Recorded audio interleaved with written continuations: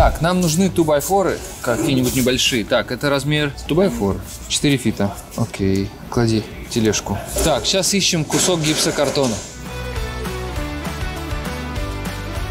Сегодня у нас обучающая серия. Будем с Александром фу, тренироваться, делать базовые элементы. Финт ушами, сальто в бок. Такие вещи всякие. Чтобы потом, как говорится, тяжело в учении, легко в бою.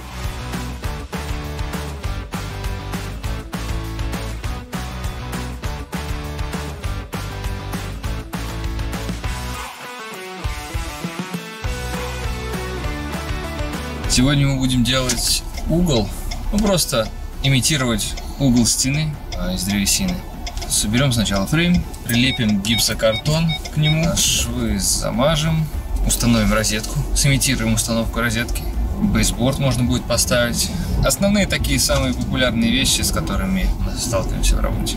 Вот смотри, это вид сверху, это вид сбоку. Примерно понимаешь? Я вообще все понимаю. Ну, вот эту штуку ты ставишь сюда дополнительно, чтобы можно было э, обшивать с этой стороны гипроком. Ну, я посадил каркасный дом, сам строил. Мгм. Ну вот. Кривую Вот, то есть она много функций выполняет, например, соединение в этом направлении и в том числе вот этот. Мгм. А, в принципе, разрешено для не несущих стен Мгм. в каких-то случаях использовать специальную ну, штучку такую для того, чтобы гипсокартон стыковать, да. Но это такое, как бы, это по-испа- по-мексикански. А, Есть другие способы делать углы, более прочные. Для структурных деталей вообще есть пр- принципиально другой способ. Вот, но мы делаем пока вот так. Значит, вот здесь должно быть 16, вот здесь должно быть 16, а здесь делай 8. То есть, получается, смотри, горизонтально это bottom plate, bottom, типа нижняя, Мгм. top plate, верхняя, Мгм. это стады. Мгм. Тык-тык-тык-тык, это все стады. Вот, соответственно, твоя задача сделать вот такой угол, соединить его. Значит, здесь должным образом, а, вот и все. По мере возникновения вопросов, ну, я здесь все время буду. Еще нюанс. Ну, по высоте. Чтобы легкая жизнь тебе не казалась, отрезаешь сколько-нибудь. Ну, чтобы И- подровнять, да? Нет, не чтобы подровнять, они все ровные. Мгм. Твоя задача сделать так, чтобы каждую стат тебе нужно было отпиливать под размер. Мгм. Соответственно, от первой отпиливаешь сколько-нибудь, дальше ты обязан будешь каждую подпиливать. Так, мне тогда нужна э, рулетка, карандаш, треугольник, э, пила циркулярная. Так, сейчас все будет. Тебе еще нужны sawhorse. Это кто такой? Здесь написано open first, А, open open. second. И там они выдвигаются. Так, могу считать, что это условно ровная часть, нет? Или мы ее будем подравнивать одну? Будем считать, что ровная. Угольник где-то есть? Проверить. Хорошо. Практически. Идеально. Это считается ровно. Сколько мы имеем здесь? Здесь мы имеем 48. И как ты это будешь делать? Слушай, ну вообще надо э, ставить кусок, соединять, ну и как бы я сделал. А так, если соединять, э, надо просто, чтобы у них не сходились, да, места соединения. Один должен быть там, с одной стороны, другой должен быть с другой стороны. Ну, да, если вот, например, bottom plate и top plate, ты делаешь их офсет. Да. И внизу, наверное, надо есть какое-то расстояние там поставить и соединить нижнюю часть. Но это я так думаю. У нас должно быть 54, ты сказал? Да, должно 54, а она у нас А сколько у нас? 48. 6 не хватает, да? Ну, сделай так тогда. Сколько останется, да, получается? Да. То есть мы эту тогда нижнюю верхнюю не пилим. Не пилим. Слишком много хлопот, а то с этим кусочком. Я сейчас где эти э, балки потом будем ставить. А, предлагаю отмечать центры. А мы же эти сейчас будем ставить палки, будет нам удобнее так ставить, нет? То есть вот мы сейчас... Ну, ты см- знаешь, где центр, просто ставишь центр. Короче, вот полтора получается, да? И мы тогда, э, нам нужно центр, отсюда это вот, вот так. Вот. И тогда вот отсюда мы отмечаем 16, правильно? Мгм. Так, дальше мы берем нам раз, два, три, четыре стойки нужно будет. Секунду, секунду. Дай-ка маркер, чтобы слишком жизнь медной тебе не казалось. Вот так вот.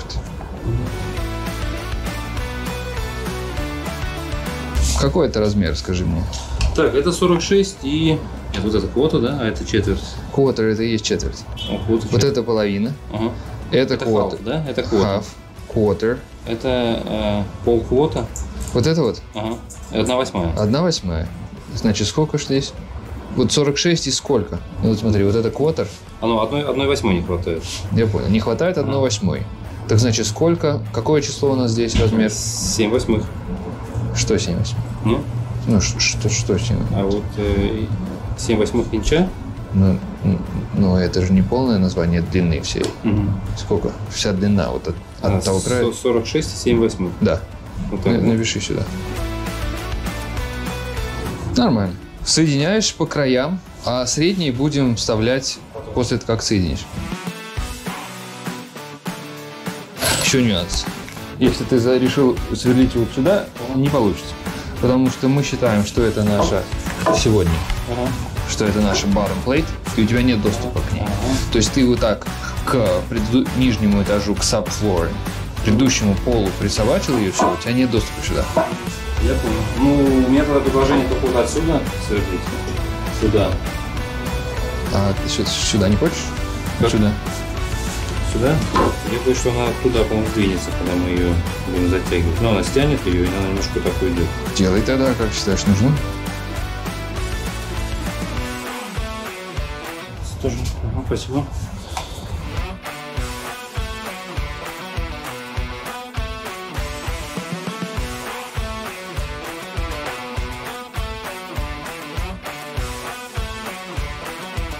Ну все. Сейчас мы ее поднимаем и больше не кладем. Перейдем к следующему, правильно? Да. Так, у меня села батарейка, вот, но Александр размер соблел отлично. Она прям так аккуратненько, тесненько, не слишком жиденько, но не слишком тяжело зашла куда положено.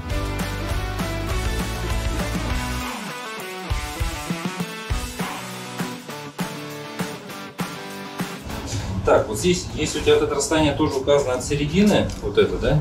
От центра, значит, здесь нам должны добавить... Сколько останется? Ну, а, или пол- восьмерку. пол- полтора должны добавить. Да. Все, тогда. Я, знаешь, что хочу предложить? Она у нас всего 48. Давай мы там сделаем, может быть, не 8, а чуть меньше, но зато у нас она будет по 24, мы ее распилим пополам, у нас палка целая свободная тебе останется чуть целая. Ну, я имею в виду, чтобы пилить.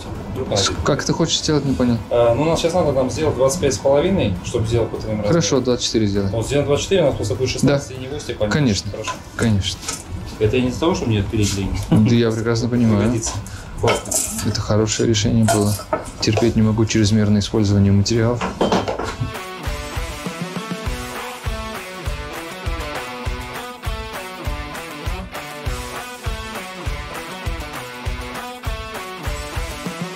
Можно было вот сейчас секунду вот так подставить и отчертить? Не, можно и так, но вот единственное, что здесь она может уйти, да? вот, может. Ну смотри, я просто спросил. Это Не, Ну, то есть смотри. э, Миш, в зависимости от того, как бы, что мы строим. Если мы строим стену под э, гипсокартон, если мы вот так от- отпилим, вот так, да, у нас будет, возможно, какая-то там небольшая разница, но она не, не будет столь существенна, что Хорошо. если у нас ведет настолько это самое. Ну, как бы... сделай, сделай наилучший вариант. Это все-таки учеба. Хорошо. Сделай наилучший как можешь, короче. Хорошо. Короче, если бы это была какая-нибудь рама для картины, Тогда так нельзя думаю, было. Тогда так не надо было делать.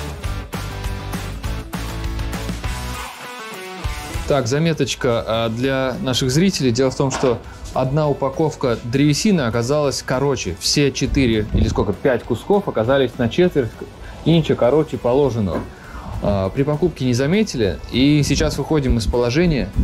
То есть к bottom plate а, будем присобачивать фанеру и укорачивать все доски, все вертикальные стады.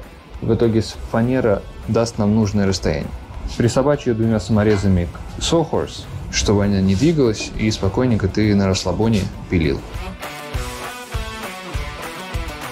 Здесь параметр отмечен примерно. Вот этот тубай означает вот эту доску. Ага. Здесь толщина дальше идет. Например, Здесь три четверти. ну, вот, а здесь есть отметка в три четверти.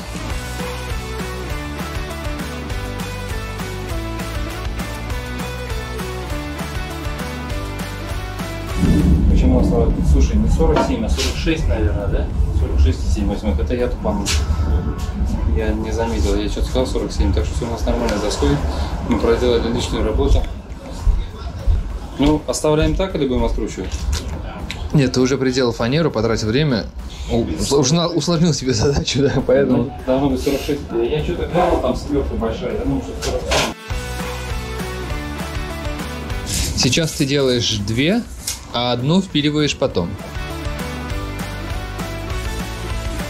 Значит, фанеру на bottom plate ставить было нельзя, потому что, ну, не, не- потому что нет такого прям супер нельзя, но порядок такой, что к полу должно прижиматься то, что должно. То, что ты внутри стены накосячил, это такое, но bottom plate должна быть... Если на бетон, это специальное дерево, которое там. Pressure treated называется. Обработанное от гниения. Так, все, теперь пилим вот сюда две, да?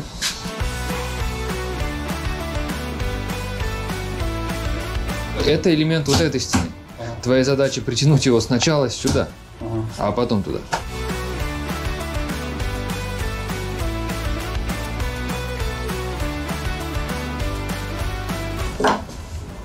Хорошо. Хорошо.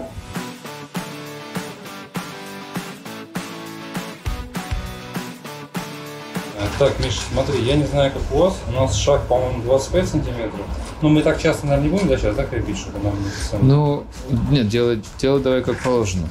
Шаг определяется э, чертежами, вот, а в отсутствии чертежей просто common sense, типа здравый смысл.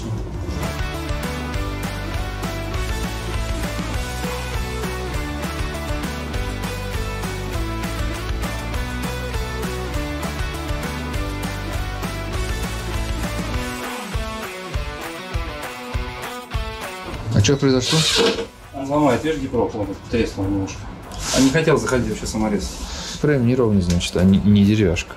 Слушай, ну вот лежит он вроде бы вообще идеально. Ну, я имею в виду, что твердость древесины никак не связана с тем, что появилась эта трещина. А, мне кажется, что он просто как бы когда пошел, не хотел в нее вкручиваться, он ее начал поднимать, она треснула, а потом он раз обратно вошел. Ну, то есть, если бы он сразу стал закручивать деревяшку, ну, понимаешь, да, то есть он дошел, а здесь на резьбе держался гипсокартон, он начал его оттягивать. Возможно. Сейчас я буду просто здесь прижимать, и может быть будет лучше.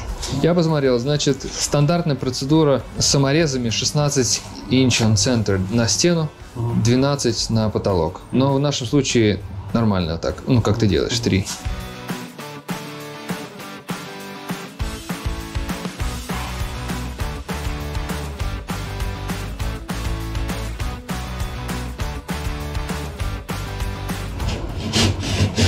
Я когда вот гипрочниках работал, они говорили, что надо, чтобы между гипроком прям вот было расстояние, чтобы туда залезал Гипс? или как он там, гипс, да. Что Он типа таким образом лучше сцепляется. Это технология с тех времен, когда сетку не использовали. Возможно, тогда это имело смысл, тогда это уменьшало вероятность появления трещины. Я не вижу, как это сейчас поможет существенно. И даже то, что мы делаем, это, ну, такое. Если бы, например, тебя бы устроил вариант побольше гипса навалить, можно было не расшивать даже. Смотри, премиум вуд Ага. и этот не премиум. Этот дольше рос. Это, Это какой-то специально выращенный, что ли? не знаю, ну то есть кольцо это же год. Да.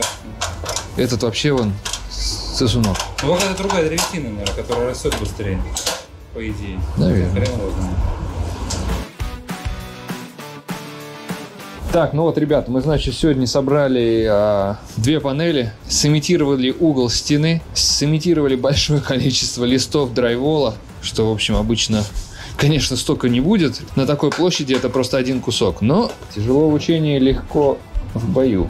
Дальше мы, значит, будем здесь устанавливать телевизор, будем делать розетку, будем делать ремонт гипсокартона, тренировать. Все на этом поиздеваемся, короче. Так, вот у нас продолжение интернатуры. Сетку прилепили. Сейчас будем швы замазывать.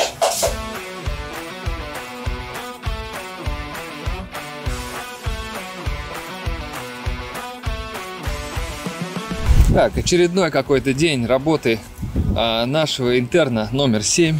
Тренируемся и полезные вещи делаем. Что там происходит интересное. Александр а, сделал розетку. Розетку типа ремоделинг. Называется розетка с помощью коробки, которая ставится и крепится к гипсокартону. Для того, чтобы широту а, опыта увеличить, а, мы сделали три коробки, которые а, считаются как новые. Ну, то есть new construction которые крепятся в стады и делаются до гипсокартона. Вот, соответственно, таким образом мы покроем ну, когда все закончится, покроем прям большой пласт там, строительного хандименского процесса. Ну, тут же, смотрите, и шпаклевка, и шкурка, и покраска, и заделывание дырок. То есть, чтобы здесь провести проводку, здесь уже гипсокартон был, это была такая задача, чтобы Александр сделал проводку как будто вновь. То есть, соответственно, он вырезал здесь гипсокартон. Хвалю тебя. Спасибо. Вот, вырезал гипсокартон, через это отверстие пропиливал э, дырку в стаде, потом дополнительную дырку через это отверстие. Все как натурально. То есть мы заранее договорились, что вот эта стен, ну, к этой стене как бы доступа нет. Вот, и все сработало. Ну а дальше вот. Значит, здесь специально, специально я ему дал задачу, чтобы он познакомился с nail plates. То есть э, отверстие должно находиться край отверстия минимум инч и четверть от края стада. Если это меньше, то нужно обязательно nail plate, чтобы когда туда что-то заворачивать, чтобы не пробить провод. Такая картина. А за, через это мы все запитаем чуть позже. Так, а что ты сегодня делаешь? Сегодня я делаю ящик для кофемашины. Выглядит шикарно. Как красота. Смотрите-ка. Что, пробуем? Вот, товарищи, очки. У одного на голове, у меня нет нарушения на каждом шагу просто. Сделай, наверное, ее, ага, чтобы стык сверху был чуть поменьше, ну, то есть, в общем. Что-то поменьше, а сверху, чтобы она могла седать у нас, если что. Посмотрите, зазоры какие.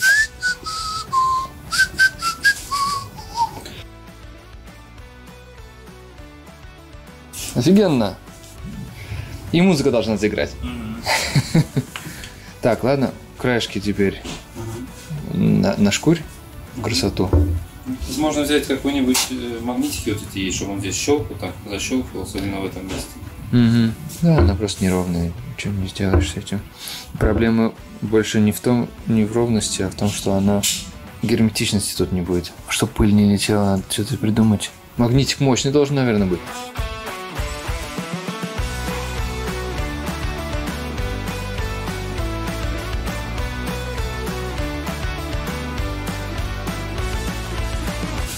Так, барабанная дробь.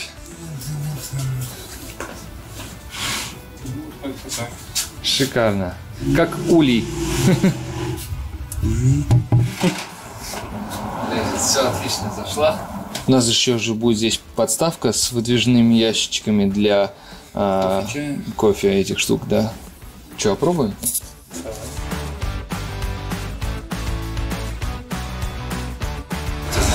Теперь все будет. Утро начинаться с кофе. А, если кто-то задает вопросом, почему в ящике, дело в том, что мы тут постоянно что-то делаем, и постоянно пыль летит а, из, во все щели, со всех щелей. В закрытом виде она хотя бы будет меньше засираться. Ну окей, так, ну давайте, допустим, эспрессо сделаем.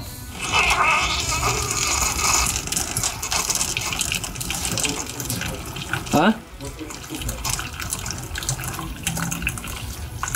Просто, не знаю. Это, наверное, из таких, как кофемашин профессиональных, он прям течет как нефть. Он вкусный, как бы, и ну, черный, реально черный. Ну, как сказать. Просто, видишь, если струйка была бы, может быть, толще, тебе показалось, что он темнее. А так она тонкая, и ты, ну, просвет ее видишь, и не кажется, она черная.